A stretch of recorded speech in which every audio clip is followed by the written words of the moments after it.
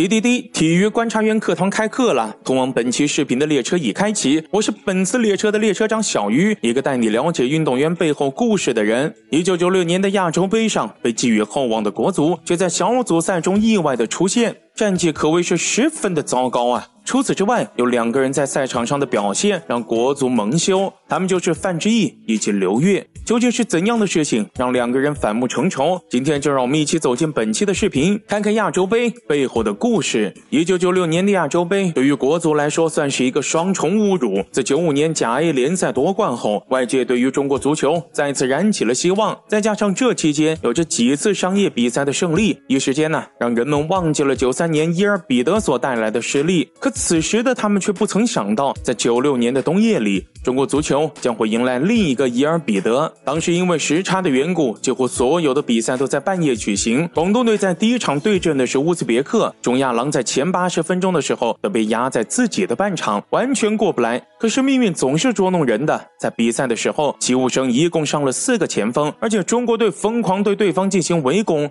无奈呀，对方就像是有如神助一般。而这场比赛呀，除了失利之外，还毁掉了当时的国奥新星刘越。当时在四分之一决赛的时候，中国队遇到了沙特队，原本中国队是领先的状态，却在最后关头被沙特逆转。乌兹别克的快速反击让中国队防不胜防，范志毅与刘越甚至还在匆忙之中撞到了一起。因为当时范志毅是国足的后防核心，再加上也是队长，在看到刘越这样的表现后也很生气。我们都知道范志毅的脾气一直都十分火爆，这也就有了之后在场上直接激烈的批评刘越的一幕。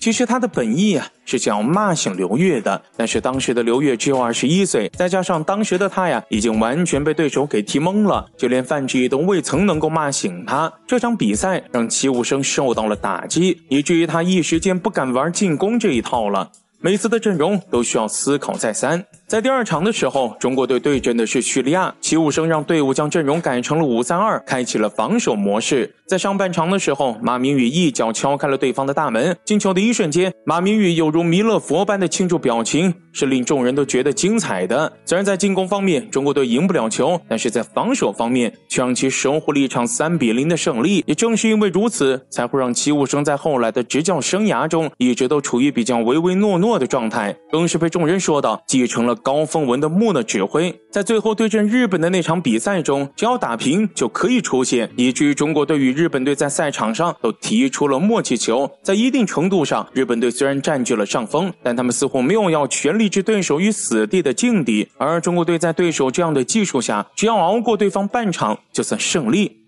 可是命运似乎都在跟七武生开玩笑，在最后一分钟的时候，日本队的后卫一记威力并不算大的射门，让中国队大门失守。也就是在这一瞬间的时间里，中国队被日本队所绝杀，而原本已经近在咫尺的出线权也就这样不翼而飞。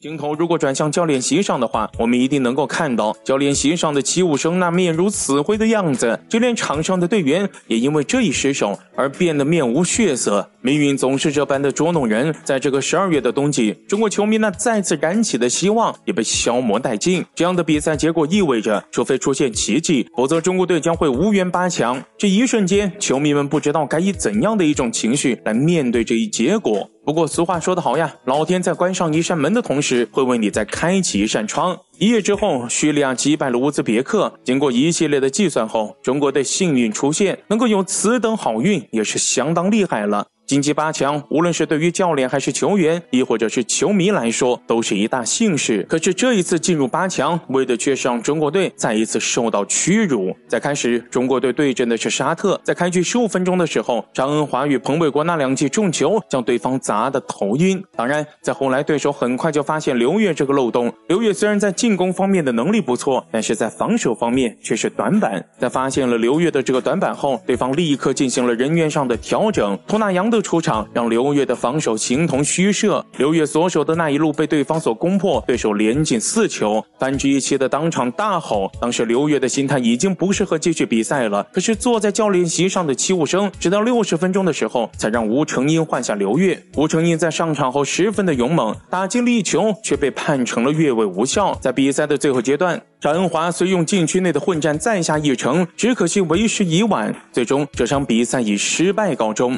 而在这一次比赛结束后，心里彻底崩溃的刘越退出了国家队。在回国后，刘越也一直遭受着舆论的抨击，逐渐成为了众矢之的。自此之后，刘越再也没有进入过国家队。其实，按照这次比赛的表现来看的话，国足还是有许多年轻球员也是相当有实力的，就比如张华、谢辉以及吴成英等。